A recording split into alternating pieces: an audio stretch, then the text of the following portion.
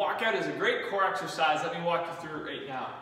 We're gonna stand nice and tall, plant our feet, or sorry, our hands on the floor in front of us, walking our hands down to a high plank position, squeezing our glutes here, and then walking the hands right back up as we stand tall. We're gonna repeat through this motion for the given amount of reps. And that is how you do a walkout.